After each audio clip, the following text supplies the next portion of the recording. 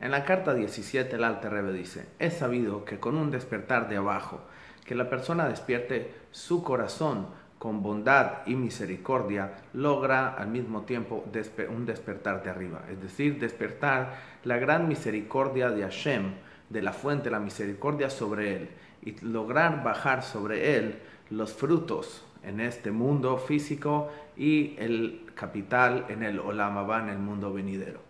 ¿A qué se refiere con los frutos? Explica el Alter Rebbe.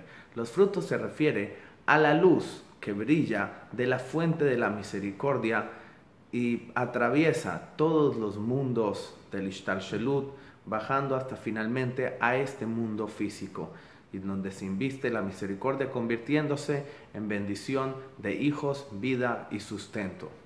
Por el otro lado, el capital se refiere a lo que está escrito en el Teilim, que David Amelech dijo, Hashem es muy amplia tu mitzvah. Y surge la pregunta, porque dice solamente tu mitzvah, deberías ir en plural, tus mitzvot. Pero dice el Alter que en realidad se refiere a una mitzvah, a la mitzvah de Tzedakah, que esta es la mitzvah de Hashem.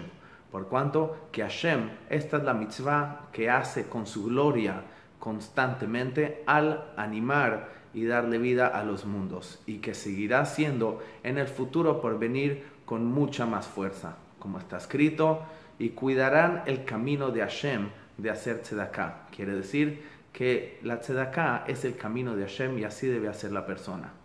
De la misma manera es la mitzvah de tzedakah, que es la revelación de la luz infinita de Hashem, la luz del nivel más elevado conocido como la luz que rodea los mundos y cómo esta luz se revelará en el de en el mundo físico. Todo a través del despertar de abajo, es decir, la tzedaká y la bondad de la persona.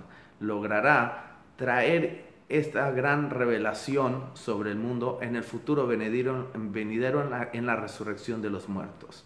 Ahora, esta revelación va a ser incluso más elevada que la revelación de luz que hay hoy en día en el presente en el Ganeden. La prueba es que las Neshamot de los grandes tzadikim y de los grandes profetas que se encuentran allá tendrán que descender a este mundo físico e investirse de vuelta en sus cuerpos para poder disfrutar de la revelación de Tjiatamitim, de la resurrección de los muertos. Por eso es más elevado. El motivo también es por cuanto de que la revelación que hay en el Ganeden ahora viene del nivel inferior de luz conocido como la luz que llena los mundos, que esta luz es la luz que normalmente se inviste de nivel en nivel, pero al mismo tiempo se va ocultando, como está escrito en la Gemara, que dice que el Olam el Ganeden, fue creado con la letra Yud del nombre de Hashem. La letra Yud representa la facultad de Jochma, que es la primera facultad de Hashem y también la primera que comienza el proceso de ocultamiento de la luz. Por eso está escrito también que con la Jochma, con la sabiduría, Hashem hizo absolutamente todo y la Jochma es la que da vida.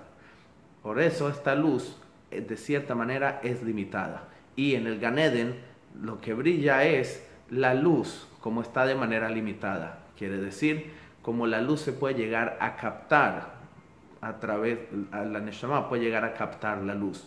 Por eso está escrito que en el Ganeden las Neshamot disfrutan del estudio de Torah que hicieron en este mundo físico. En el Ganeden reciben los secretos, la captación de estos secretos de la Torah.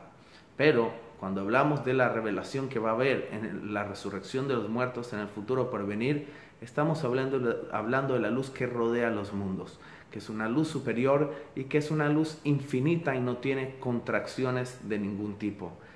solamente que esta luz y su naturaleza ya lo hemos, lo hemos explicado en la primera parte del Tania, que no significa que rodea físicamente, sino que está por encima y es tan ilimitada que a veces en este mundo no se puede revelar hasta el futuro por venir.